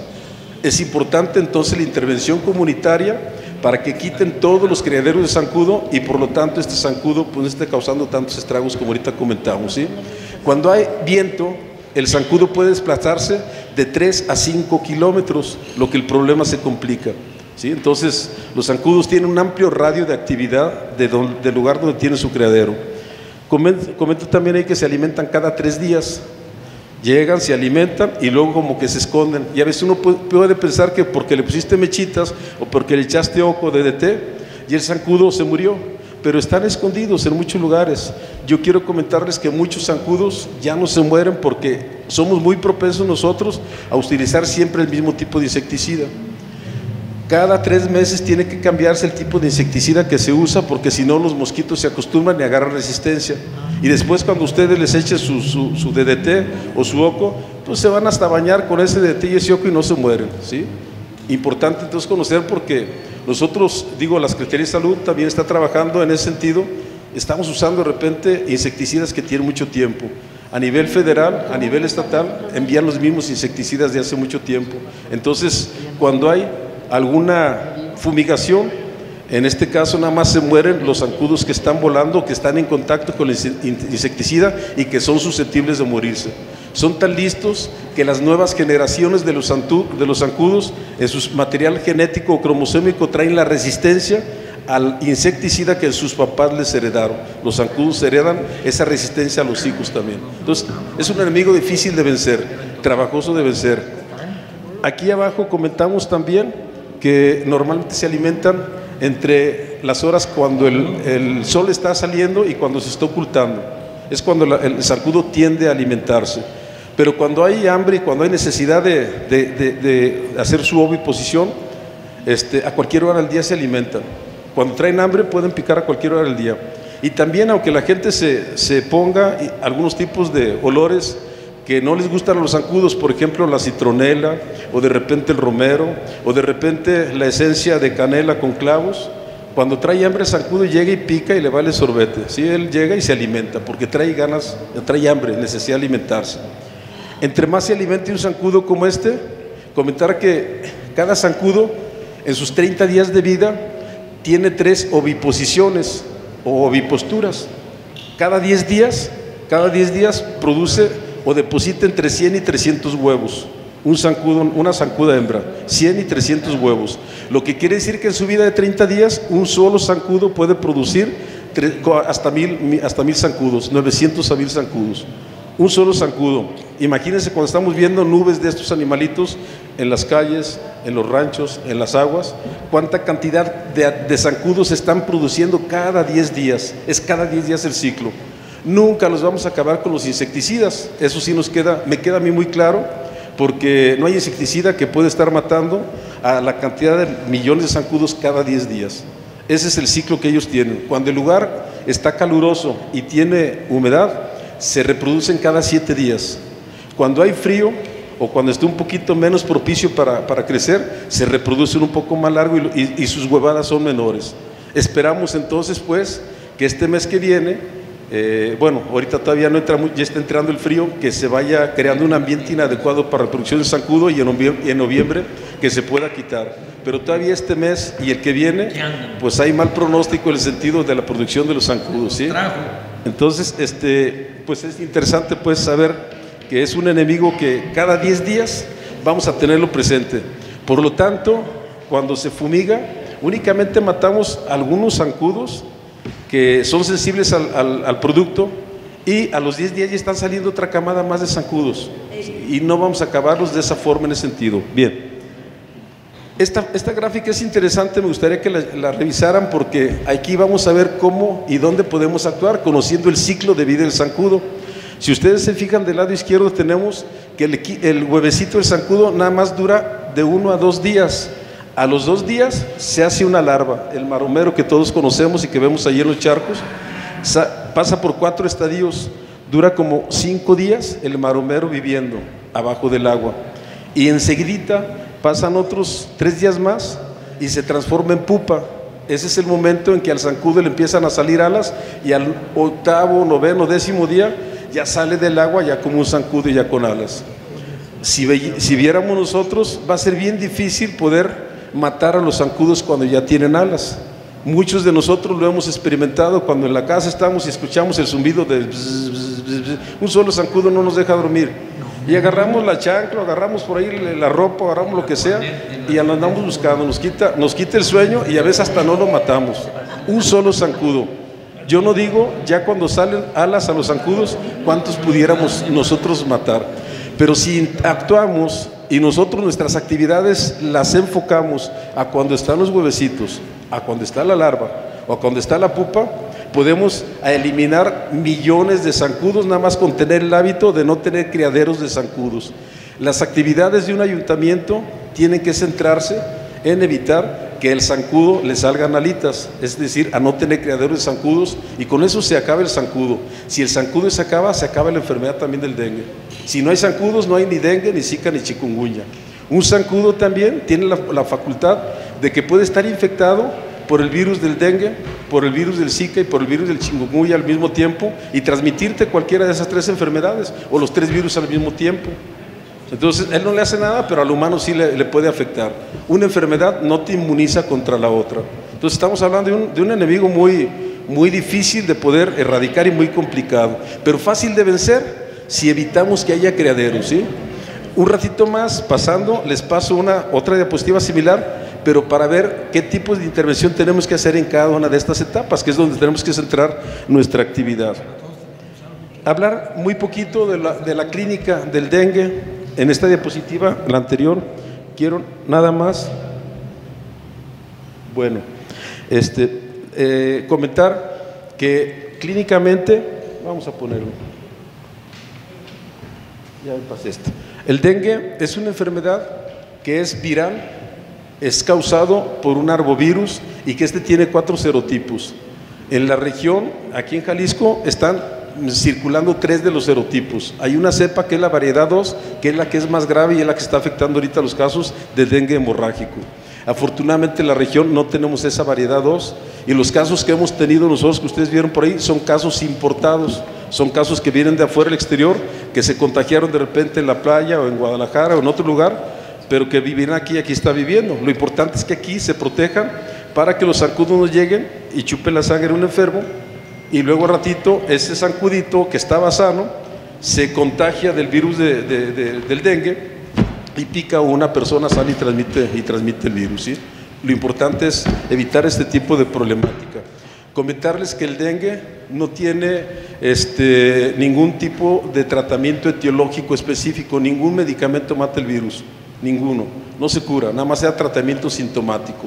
Y este, que el dengue tampoco tiene ninguna vacuna para que se pueda eliminar. Muchos países adelantados desde el punto de vista médico han tratado de hacer vacunas para los serotipos, pero no se ha podido proteger a las personas en un 100%. Muy poca porcentaje de, de, de- de protección se ha logrado, por eso no se ha estandarizado ninguna vacuna ni ha salido ningún tipo de producto en este, en este caso. Bien, son los cuadros del, del cuadro grave, el cuadro el, el- el que es con signos de alarma y el leve. Comentarles que de los casos, los más frecuentes síntomas que hemos tenido en las personas es generalmente la fiebre, seguida por dolor, se llama mialgias, dolor de toda la carne, de los músculos, artralgias, dolor de las articulaciones, es el tercer dato que se presenta frecuentemente, y los otros dos es dolor retrocular aquí en los ojos, pero se siente por detrás, en, como pesado los tomates, que la gente dice, me duelen los tomates y me aprieta y me duele. Ese es un dato clásico también, y el otro es el exantema. Estos cinco signos y síntomas clínicos son frecuentes para uno sospechar clínicamente que hay dengue, pero no podemos nosotros asegurar que esta persona lo tiene hasta no sacar un examen de laboratorio para decir si tiene los anticuerpos y si tiene dengue. Es muy irresponsable que una persona o un médico o cualquier persona haga un diagnóstico clínico de un dengue. Así como de cualquier otra enfermedad, ningún médico puede decir a una persona si llega a su consultorio que tiene la enfermedad de Chagas nomás porque trae una sintomatología parecida o que tiene fiebre, este, no sé, chigela, salmonela o que tiene un síndrome de inmunodeficiencia adquirida porque trae algunos datos que, parecidos. Se hace el diagnóstico y se le dice al paciente hasta que no se sacan pruebas. Uno de los problemas que está pasando ahorita, por eso hay mucho pánico, es que hay muchos médicos que están haciendo diagnósticos clínicos y lo aseguran como si ellos eh, ya supieran el, el resultado y a la gente este, lo, las asustan pues diciéndoles que tienen dengue cuando es un caso probable de dengue. Igual también comentarles que tanto todos los médicos particulares, los médicos privados, hospitales también particulares, hospitales de la Secretaría de Salud, del IMSS, del ISTE, tienen la obligación de sacar los estudios y de reportar los casos en una plataforma que aquí en la región sanitaria lo tiene el, Departamento de Epidemiología que se llama Sistema Único de Vigilancia Epidemiológica, se llama SUIVE. Allí es donde tienen que subirse todos los casos. No hay mucha costumbre, desafortunadamente, los médicos estudiar los casos y luego subirlos. Ese es otro problema que pasa también, porque hay médicos que a pesar de que no hagan el diagnóstico exacto, de repente este, hay casos que no los puedan subir. Comentarles que el único laboratorio en Jalisco que hace los diagnósticos aceptados por, por el INDRE de México es el Laboratorio Estatal de Salud Pública de aquí de, Jalisco, está en Guadalajara. No le cuesta ningún 5 a ninguna persona el sacar un examen. Por lo tanto, si alguna persona, algún doctor, por alguna prueba rápida, que lo están sacando, les detecta dengue con una prueba rápida, se aconseja que ese mismo paciente saque otra muestra de sangre, la envía a la Secretaría de Salud o al Centro de Salud y ahí se le corre el examen, se manda a Guadalajara y más o menos en una semana tiene ya el resultado de si en realidad tiene o no tiene dengue, sin ningún costo. Un examen de este tipo, detectando el PCR, cuesta en lo particular como unos dos mil pesos, un solo examen, pero no, se le cuesta, no le cobran absolutamente nada a la persona y se le corren para los tres muestras, para dengue, para y para chikungunya.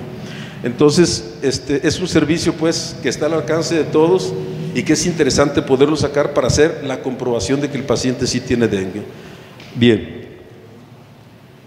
De las actividades, comento pues, ¿en qué, ¿en qué fundamento tiene?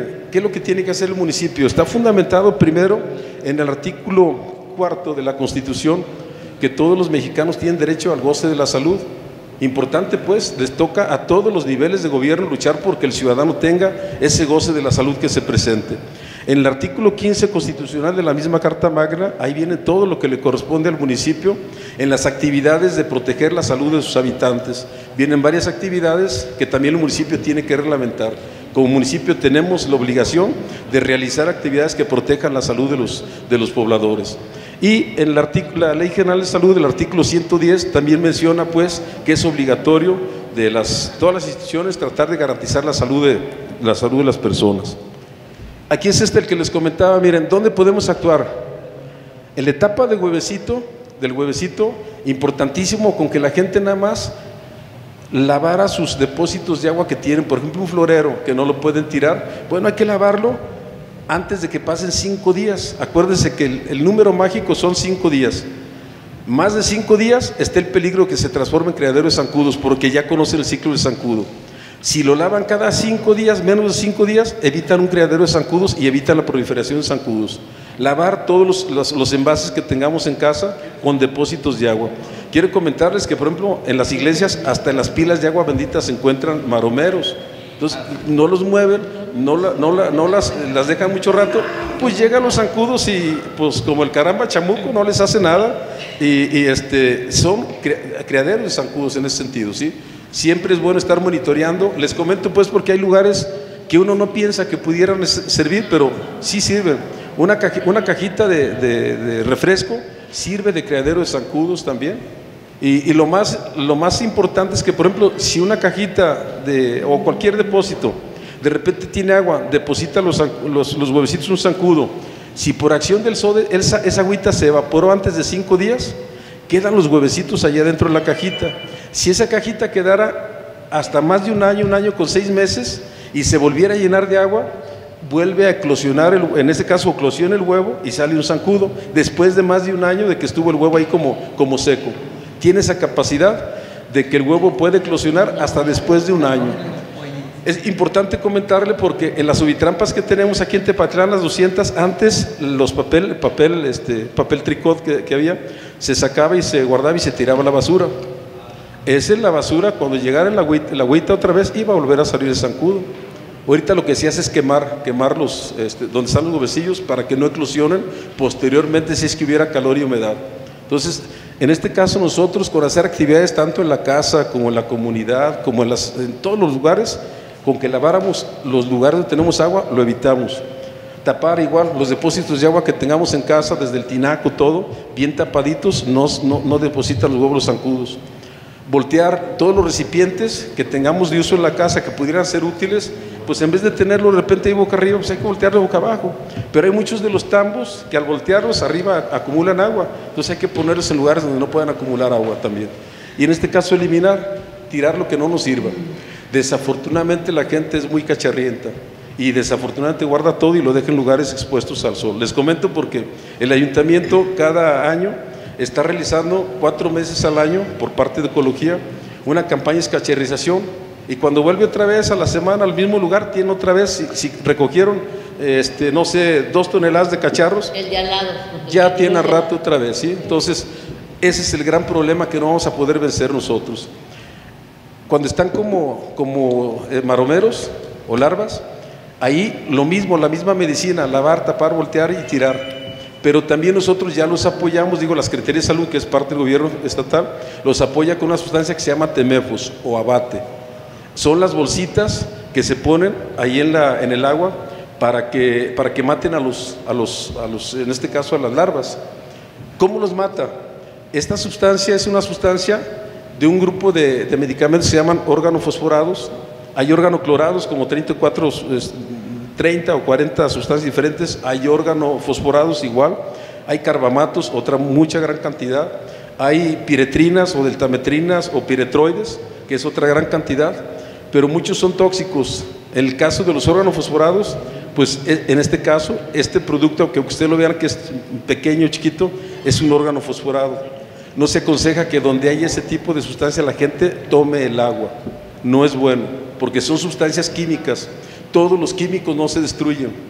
Esos únicamente se depositan, se transforma nuestro cuerpo y en nuestro cuerpo se depositan, sobre todo el tejido adiposo. Y con el tiempo, nuestro cuerpo detecta la presencia de estas sustancias químicas y hay alteraciones. Nuestro cuerpo tiene células, las células tienen cromosomas y detectan por medio de, genes como el RNA mensajero la presencia de, este tipo de sustancias y puede alterar, es el que, es el, que lo ordena el crecimiento a las células en el núcleo. Si detecta alguna sustancia puede afectarle y de repente el, núcleo puede multiplicarse y fragmentarse muchas veces y hacer un crecimiento incontrolable y desproporcionado. Y esto de lo que yo les hablo es un cáncer, una neoplasia. Entonces, esto puede originar un problema de tipo también neoplásico si la gente lo ingiere. Cualquier sustancia, cualquier sustancia química, no esto. Yo estoy hablando porque son sustancias químicas que están al alcance de la mano de todos. Mucha gente utiliza raidolitos, utiliza oco, utiliza un chorro de sustancias y no sabe lo que está usando. Pero casi siempre, cuando hay alteraciones neoplásicas, sobre todo en niños o en mujeres, buscamos el antecedente de uso de insecticidas y es muy frecuente la asociación de insecticidas con problemas de tipo neoplásico. Entonces, importante mejor decir lo menos que puede usarlos. ¿sí? En el número, cuando están como pupa, cuando le van a salir alitas, es la misma medicina, lavar, tapar y voltear, y eso no hace daño para nadie. Pues sí, sí implica que el ciudadano tenga que tener mucho cuidado en no tener criaderos de zancudos. Vuelvo al tema otra vez. Con eso se evitan muchísima proliferación de zancudos. Pero no solo un ciudadano, necesita ser la comunidad. Y es donde nos hace falta más cultura, más educación de tipo médico para saber cómo podemos incidir en un problema que nos afecta, que el medicamento no está cuando ya está volando. Si se fijan ya cuando está el zancudo volando, arriba dice, hay que hacer rociado residual termonebulizadora y es cuando usamos, se llaman los insecticidas de, derribo, como el clorpirifos, por ejemplo. Ese quiere decir que mata a los zancudos volando. Se riega el insecticida con la máquina y mata a los zancudos que estén volando pero que sean este, sensibles a esa sustancia. Mata a los que alcanza a mojar y a los demás no les hace nada. Entonces, el rociado residual, pues si lo hacemos en unas cuadras, en algún lado, pues nada más va a matar a la cantidad de zancudos que se encuentran ahí que sean sensibles a este, este producto. Por lo tanto, no es eficaz al 100%. Desafortunadamente, este mucha gente le tiene mucha fe porque dicen, ah, cuando están ya rociando y cuando está la nube, eso es muy bonito y nos mata a todos los zancudos. La verdad es una falacia porque no mata a todos los zancudos. Mas, sin embargo, sirve como un tranquilizante para las personas porque dice, ya el gobierno está haciendo algo, no hacía nada pero desconoce que es poco el efecto que tiene este tipo de, de, rociado y que de repente hay muchísimos zancudos que no se van a morir. ¿sí? Entonces, importante pues conocer el ciclo de vida del zancudo para saber cuáles son las acciones que como ayuntamiento tenemos que realizar para que esto no se siga reproduciendo más. Igual, comentar esto lo que se ha hecho haciendo un recuento con Ramón de Ecología, por ejemplo, se han recolectado en 11 meses 558.8 toneladas de llantas. Tenemos que legislar porque siguen produciendo muchísima cantidad de llantas. Ahí estaban escondidas. Bueno, tenemos un montonal de depósitos de criaderos de zancudos. Hay que sacarlos. Y hay que ver de qué forma, aplicando los reglamentos, si nosotros hiciéramos nada más esta sencilla operación, ¿cuánto parque vehicular aquí en Tepatitlán hay? Nos vamos a, a encontrar que hay buena cantidad de vehículos. Son cuatro llantas los que tiene cada vehículo. Imagínense también cada vez que hacen los recambios, multiplíquenlo por cuatro y la cantidad de llantas que estamos teniendo cada cierto tiempo y que nadie se quiere ocupar de ellas, ni los productores, ni los distribuidores, ni los que las eh, reparan y ni los que las compran. Entonces se tiene que ver de qué forma se involucra a todos para que este problema se resuelva de tal manera que no implique un riesgo pues para la población comentamos pues que el ayuntamiento está realizando esto. Igual también hay una limpieza permanente del río, de maleza, de varios lugares. Por ejemplo, cuando se fumiga el río Tepatitlán, ahorita no se ha fumigado porque la máquina tuvo un accidente hace dos años el carro. El carro, el vehículo se, se destruyó, pérdida completa. La máquina apenas la repararon. Y este, apenas hace dos días se, nos prestaron otro vehículo viejito del año del caldo, pero es el que apenas empezó a funcionar. Pero la máquina ULB va a estar funcionando a partir de, estos días. Ya el día de ayer ya fue a trabajar a Catig, mañana se va otra vez a trabajar a Catig y la siguiente semana va a estar trabajando en Acatig para tratar de, evitar también por la vecindad que tiene con Zapotlanejo, que ya es zona metropolitana de Guadalajara, este, por ahí nos van a venir muchos casos en, este, en, esa situación, porque hay enfermos muchos en Guadalajara, hay mucha gente que visita Guadalajara y tenemos el zancudo aquí con nosotros, vamos a tener no solo casos importados, sino posiblemente también casos autóctonos, ya que sea gente que no viaje, pero que se enferme porque el zancudo se va a infectar de gente que sí viaja y va a estar aquí con el problema. Entonces hay que tratar de hacer acciones antes de que esto suceda en un número mayor. Se está realizando también, bueno, yo les comentaba la lectura semanal de las ovitrampas y se hacen trabajos alrededor de las, de las ovitrampas. Cuando yo, eh, en este caso, se detectan ovitrampas mayores de 100 huevecitos por ovitrampa, siempre se mandan a hacer actividades en esa casa y alrededor para bajar la densidad de los zancudos. Eh, es una vigilancia que se hacen aquí en 50 manzanas de Tepatitlán, se encuentra un ovitrampa en una cuadra y hay una persona que por semana hace una lectura de esas ovitrampas por semana, las cambia, les tira el agua para que no se conviertan en creadores zancudos y vuelve otra vez a leerla la siguiente semana. Es una vigilancia epidemiológica que se está realizando. Hay también pues programas de escacharización que ya comentamos también y sobre todo la aplicación de adulticida en máquinas termonebulizadoras que son de mano.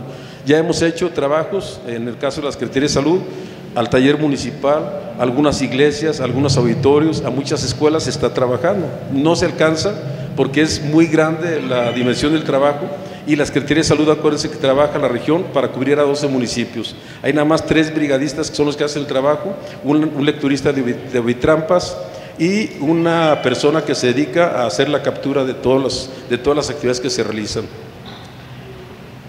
Son fotos de algunas de las actividades que se realizan aquí en el ayuntamiento, en este caso la, eh, la, jefatura de ecología que es la que está trabajando en ese sentido junto con reciclaje, otras actividades se están realizando también. Y este, comentarles pues que ya en cierta ocasión cuando tuvimos una, una reunión de la Comisión de, de Salud, por ahí le pasamos a, a, los regidores que le integran este librito que es la guía de las acciones municipales para prevenir el control de las enfermedades tiene muchas de las acciones sugeridas para que el ayuntamiento la realice y pueda evitar la proliferación de criaderos. En ese sentido, ahí viene una guía básica de actividades que pudieran ser adoptadas por el ayuntamiento para tratar de que esta enfermedad se pueda limitar también. Esta es la última diapositiva. Yo quiero terminar nada más con ella, comentar. Si ustedes se fijan, ahí hay una especie de pirámide. La base principal de la pirámide, allá abajo dice EPS, que es educación para la salud. Necesitamos trabajar en el que la gente conozca, que la gente sepa cuál es el enemigo y que cambie sus hábitos. Es muy difícil, pero ahí se tiene que trabajar. Si ustedes se fijan, abarca la mayor participación de la base del trabajo.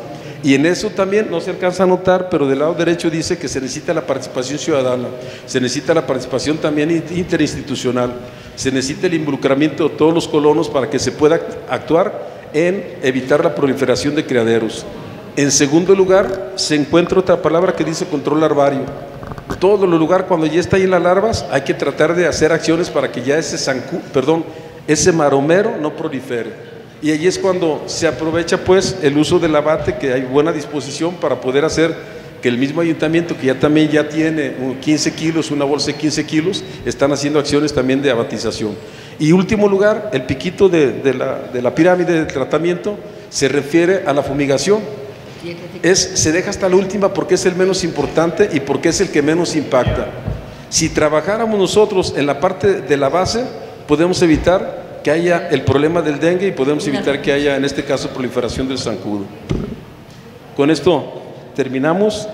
No sé si hay alguna duda, comentarios o preguntas a la orden. Gracias. El enemigo es, aunque lo vean pequeño, es muy grande. Sí, eh, regidora. Cuando hay depósitos naturales, charcos o así que no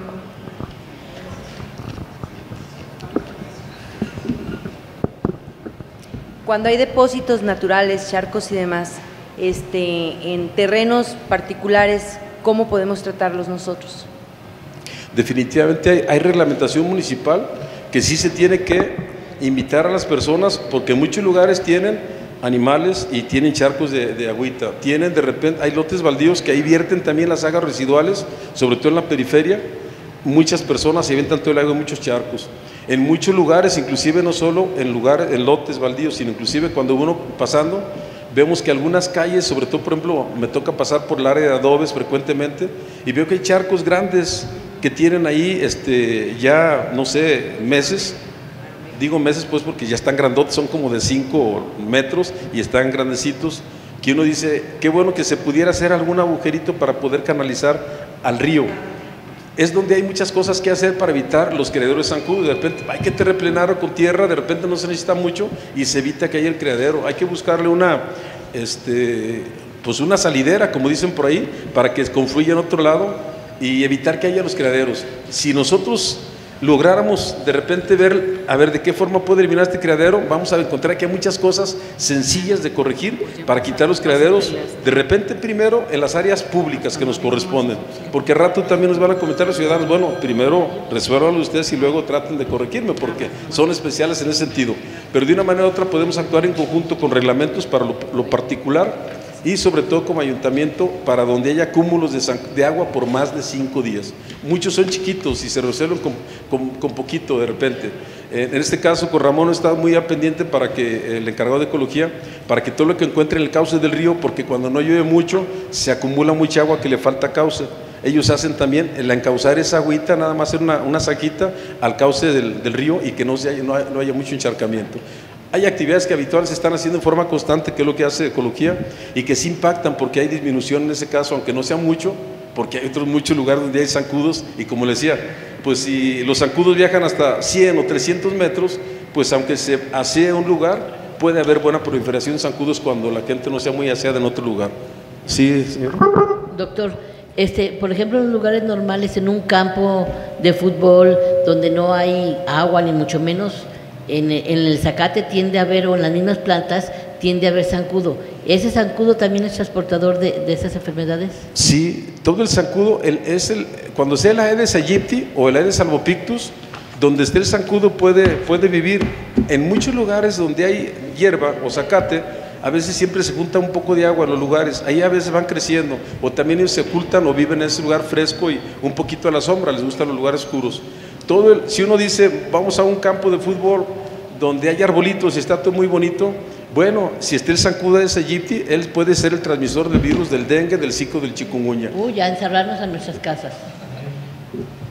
Y ahorita en el tiempo de lotes nadie No se diga. Sí, de hecho, por ejemplo, este, generalmente cada año se fumigan las unidades deportivas con la máquina OLB en más antaño, se pasaba y se fumigaba el pipón, se fumigaban varios lados, ahora es donde no hay gente para tratar de incidir más en el vector, pero sabemos que es una lucha muy grande y mientras haya crederos adentro no se va a acabar con el zancudo, ¿verdad? Eh, Ahí es desmalezar, desmalezar completamente y acabar los criaderos y los escondrijos de los zancudos y luego después ya poder abatizar los lugares donde tengamos agua y de repente fumigar también.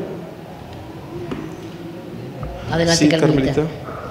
Gracias. Yo les quiero compartir que hace unos días yo le preguntaba al doctor que por qué la Secretaría de Salud no fumigaba los lugares más importantes mm, y él me, me dio una partecita de esta explicación, no me la dio toda, y me hizo mucho hincapié que en donde se acumulara agua, que no se moviera por cinco días, ahí de seguro había un criadero.